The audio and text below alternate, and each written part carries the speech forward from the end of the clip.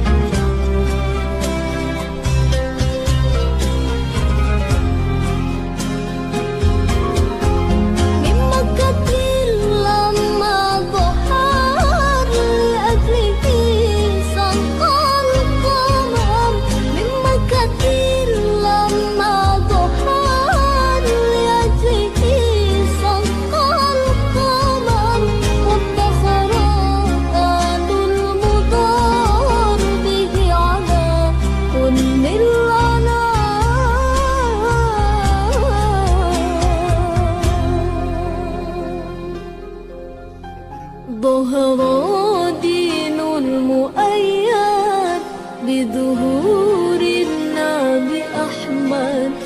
يا هنو